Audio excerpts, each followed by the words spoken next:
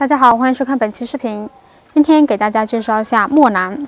墨兰呢是兰花里面呢非常受欢迎的一个品种，它的叶片呢非常的宽大翠绿，而且呀特别受大家的欢迎。那么现在呢正是墨兰开花的时间，那么我们应该怎么养护才能让墨兰呢长得更加的旺盛，开花更多，花件串的更多呢？今天就来给大家详细介绍一下。第一个就是一定要保证适当的光照。墨兰呢，虽然是一种喜阴植物，但是呢，也是缺少不了光照的。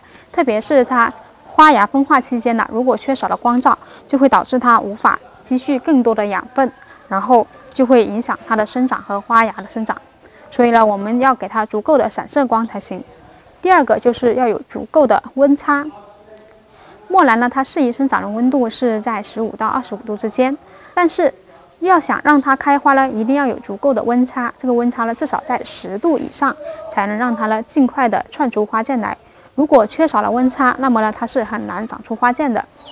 第三个就是缺少肥料的话，也是不可以的。那么我们都知道，不管是什么植物，不管是生长还是开花，它都是需要非常多的养分的。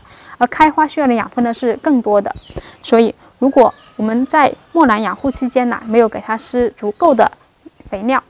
那么它就会出现呢，花苞串不出来，或者是长了花剑，花剑也非常容易掉落或者是萎蔫。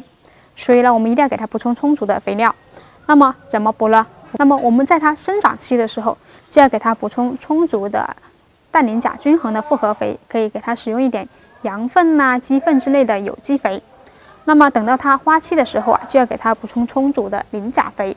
磷钾肥的话，我们就可以选择比较常用的磷酸二氢钾。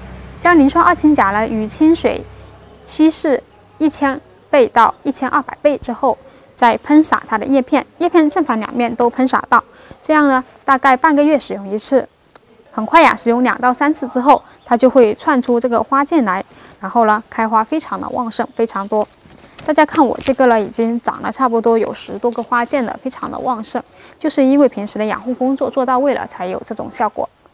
好了。今天就给大家介绍到这里，我们下期再见。